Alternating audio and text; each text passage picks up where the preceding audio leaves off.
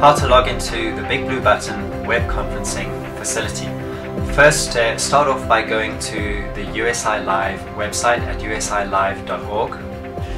And if you look at the website and you scroll down, on the right hand side of the screen you'll see a box that says Big Blue Button with a drop down menu of meetings. Choose your meeting.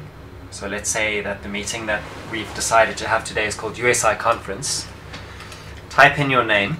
Uh, this can be any name that you'd like to be known on um, in the conference and the password which you have been given by the conference organizer. And you click join and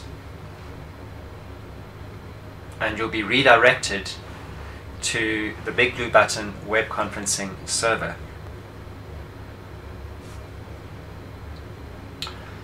So then you'll see a pop-up box which asks to use your camera and microphone. Click the button that says allow and then if you want to check that your headphone or speakers is working, click play test sound.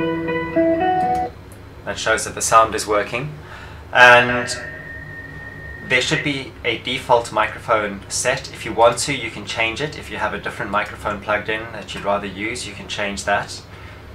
But you probably won't need to do anything. Once you're happy with that, you just click Join Audio. We're currently the only person in this conference. And you'll see your name pop up here, which means that you're the first person here and you're in the audio part of the conference. Now, when other people join, you'll see their names appear up in the top left first, and then once they join the audio part of the conference they'll appear here as well. Your webcam isn't on yet. To switch your webcam on, go to the top left corner, click the camera icon, and you'll see this box come up. In order to publish it so that other people can see it, click Start Sharing. And now anyone else who's logged into the conference will be able to see you and you'll be able to see them if they do the same. And you can also move around any of the boxes that you see on the screen. So if there are 10 people in the conference, you can rearrange the, the camera icon so that you can see where everyone is. And now you can participate in the conference by listening and by speaking and you can also do it by chat. You can see the window over here. And in that window you can chat and ask questions. And this is very useful sometimes if your connection's not great, maybe people can't hear you clearly. You can type in a question over there. You can also have private chat in these tabs over here by selecting a person's name and sending them a private chat message.